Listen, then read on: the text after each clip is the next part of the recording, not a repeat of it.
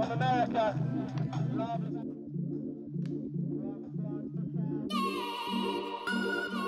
Um, yeah, we came up here to the Mile High, and all the girls rallied against the flat light weather, but everyone threw down. It turned out to be such a great contest, and I had so much fun. I know all the other girls did, and big thumbs up to Carlton and Perisher for putting on such a great event, and I can't wait for next year.